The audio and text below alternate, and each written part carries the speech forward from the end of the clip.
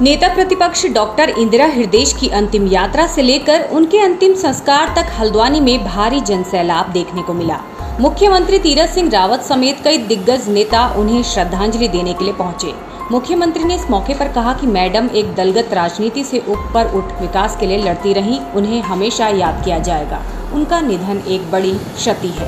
सुबह से ही नेता प्रतिपक्ष डॉक्टर इंदिरा हृदयेश को श्रद्धांजलि देने के लिए भाजपा, कांग्रेस व अन्य राजनीतिक पार्टियों के बड़े नेताओं का उनके आवास पर पहुँचने का सिलसिला बना हुआ था। बीजेपी प्रदेश अध्यक्ष मदन कौशिक, शहरी विकास मंत्री बंशीधर भगत, नेता सांसद अजय भट्ट, शिक्षा मंत्री अरविंद पांडे, परिवहन मंत्री यशपाल आर्या, सांसद प्रदीप टमटा, जिला पंचायत अध्यक्ष बेला तौलिया, मेयर जोगेंद्र रौतेला, पूर्व सांसद बलराजी पासी, भाजपा संगठन मंत्री सुरेश भट्ट कांग्रेस जिलाध्यक्ष सतीश नैनवाल समेत राजनीतिक व गैर राजनीतिक संगठनों से जुड़े लोग बड़ी संख्या में आवास पर मौजूद थे। इंदिरा के आवास व स्वराज आश्रम में आमजन भी उनके अंतिम दर्शन को उमड़े थे। उनके पार्थिव शरीर पर पुष्प अर्पित करते हुए सभी की आँखें नम थी। उनका बस यही कहना था कि मैडम अब चली गईं, अब हमारी कौन सुनेगा? बेटे सुमित हृदयेश ने बताया कि माताजी हर किसी की समस्याओं को सुनकर उनका निवारण करती थी। माताजी घर पर जब भी रहती थी, घर पर आम जनमानस की भीड़ लगी होती थी। इंदिरा को चित्रशिला घाट पर उनके बेटे संजीव, सौरभ व सुमित ने मुखाग्नि दी। उनके निधन पर एक दिन का राजकीय शोक भी रखा गया।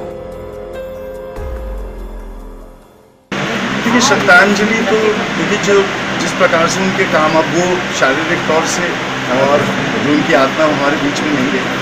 लेकिन जो उनके कार्यों की आत्मा है, जो कार्यों का उनके पश्चिम जो कार्य प्रणाली जिस निष्ठा भाव से, लगन से, मेहनत से, उन्होंने आम जनमानस के लिए, सामाजिक सरोकार के लिए और विकासशील एक प्रगति के लिए जो कार्य करे, ऐसे बच्चों पर हम लोग आगे चल पाए। हमारी कामना यही है और असली श्रद्धांजलि उनको यही होगी कि सामूहिक तौर से प्रदेश में जो सामाजिक राजनीतिक संगठन है, वो इंदिरा हृदय जी ने जो कार्य करे जिस प्रकार से काम करा उस कार्यों को और उन कामों को आगे बढ़ाए। जी जी इंदिरा हृदय जी का जाना। नीचे करो प्रदेश के लिए बहुत क्षति। नीचे करो और हमें बड़ा दुख है। इंदिरा जी का जिस प्रकार का व्यक्तित्व था और जिस तरह से वो उत्तराखंड के लिए विकास के लिए लड़ती थी दलगत राजनीति से ऊपर उठ कर के उनकी सोच थी। कैमरे कैमरे उत्तर प्रदेश के अंदर जब वो सदन में थे विधान परिषद के अंदर तो मुझे भी सौभाग्य उनके साथ में मिला। और वहाँ आई करो जरा। वो हमारा हौसला बुलंद करती थी। छोटे भाई के रूम में मानती थी दीदी के रूम में और उनसे बार बार मार्गदर्शन लिया करते थे। और वो उत्तराखंड उत्तर प्रदेश के अंदर बल्कि दिल्ली की राजनीति में भी एक स्थान रखती थी। तो स्वाभाविक है कि उनका जाना एक क्षति है। और अभी भी चार दिन पहले ही मेरी फ़ोन में बात हुई थी। कई कोविड के मुद्दों पर। और मैं कह सकता हूँ इस एक डेढ़ महीने के अंदर मेरी दस बारह बार उनसे फ़ोन में दो बार वर्चुअल में। जब सर्वदलीय बैठक मैंने बुलाई थी कोविड के समय उस समय जुड़ना।